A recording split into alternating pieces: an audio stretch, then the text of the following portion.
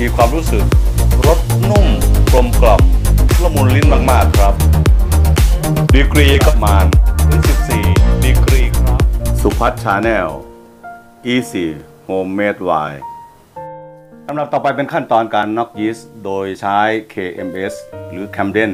นะครับ เราก็จะได้ผง Camden จำนวน 3 เม็ดนะครับ แล้วเราก็จะนำไปเทลงในถังไวน์ ครบ 32 ชั่วโมง เราก็สามารถดื่มได้เลยลำดับต่อไปเป็นขั้นตอนการตกตะกอนของไวน์องุ่นแดง โดยใช้ bentonite อธิบายเพิ่มเติมนิดหนึ่ง น้ำของไวน์องุ่นแดงเรามีทั้งหมด 15 ลิตรในถังนี้ เพราะฉะนั้นเราจะใช้ bentonite ในอัตราส่วน 15 ลิตรต่อ 75 มิลลิลิตร หรือถ้าขุ่นมากก็อยู่ประมาณ 150มิลลิลิตรนำขวด bentonite มา เช็ดด้วยน้ำยาฆ่าเชื้อ Star San bentonite ที่เราจะใช้ในการตกตะกอนให้ไวน์องุ่นแดง เราจะใช้ปริมาณ 100 ml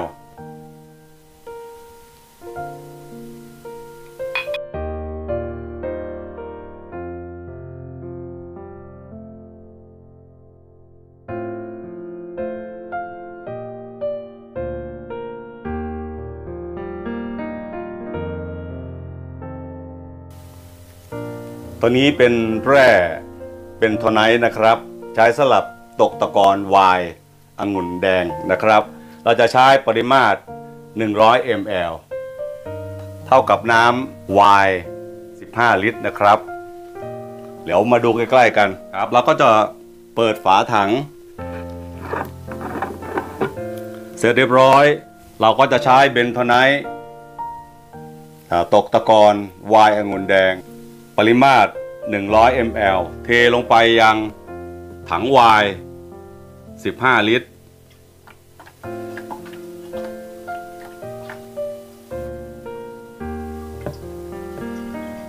หลังจากที่เรานำ bentonite เทลงไปในถังหมักแล้วเสร็จเรียบร้อยแล้วก็คน เพื่อให้ bentonite ได้เข้ากับตัว body ของไวน์องุ่นแดงนะครับ ก็คนให้เข้ากัน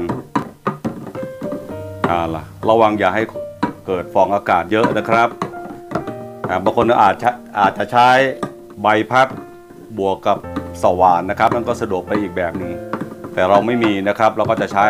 ฟุตซึ่งสะอาดแล้วลงไปกวนขด เราก็ได้ผสม bentonite สลับตกตะกอนวน์องุ่นแดงเสร็จเรียบร้อยแล้วครับ ขั้นตอนต่อไปเป็นขั้นตอนการเก็บรักษา ถังวน์องุ่นแดงครับ ใช้ผ้าสะอาด ชุบน้ำยาสตาแซนน้ำยาฆ่าเชื้อ เช็ดบริเวณปากถัง ขั้นตอนต่อไปจะเป็นขั้นตอนการติดตั้ง airlock ครับ เปิดฝาถัง ใช้ฝาติด airlock ภายใน airlock มีน้ำยา Star San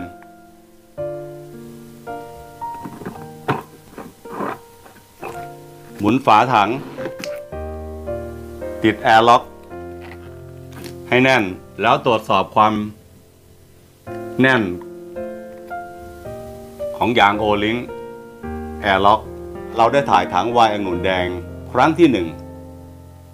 เสร็จเรียบร้อย เราก็จะนำไปหมักไว้ในอุณหภูมิห้อง ถ้าเป็นไปได้ก็หาเสื้อผ้า ใส่ให้ถังเพื่อป้องกันไม่ให้ถูกแสง ขั้นตอนต่อไปเป็นขั้นตอนการตรวจสอบคุณภาพ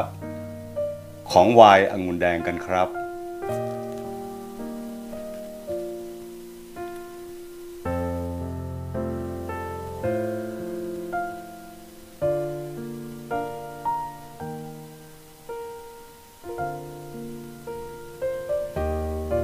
บริวายขององุ่นแดง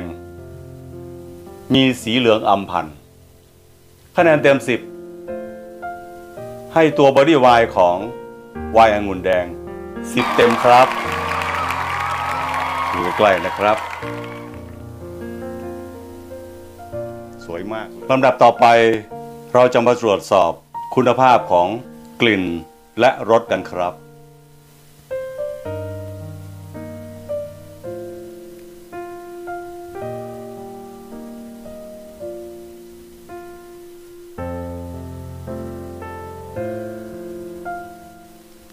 กลิ่นของ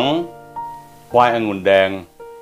ยังเจือจางด้วยกลิ่นองุ่นสด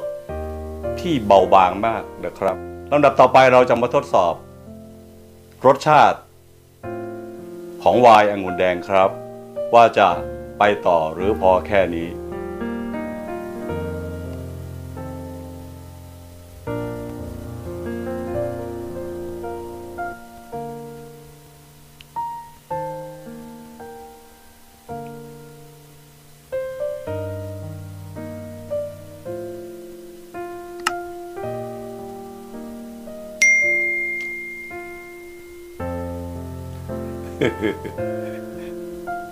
สุดยอดมากๆครับ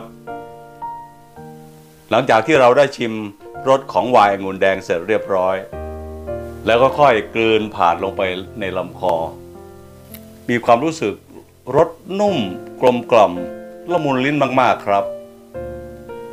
ผ่านลงไปในลำคอทำให้ลำคอ ร้อนวุบว่ามากๆเลย ดีกรีก็จะน่าจะอยู่ประมาณ 14 ดีกรีครับ สุดยอดจริง ๆ เดี๋ยวขอชิมอีก สักนิดหนึ่งนะครับ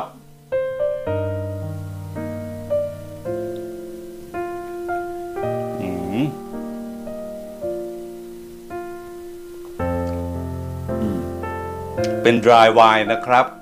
dry wine ก็หมายถึงไวน์ซึ่งมีแทนนินเล็ก ๆ ฝาดเล็ก ๆ แต่แอลกอฮอล์สูงนะครับ เราก็ได้ ไวน์องุ่นแดงเสร็จเรียบร้อยแล้วครับ สุพัฒชาแนล Easy Home Made Wine อย่าลืม กดไลค์ กดแชร์ และกดติดตาม เพื่อที่จะไม่ได้พลาดคลิปใหม่ๆ พบกันใหม่ในคลิปหน้า สวัสดีครับ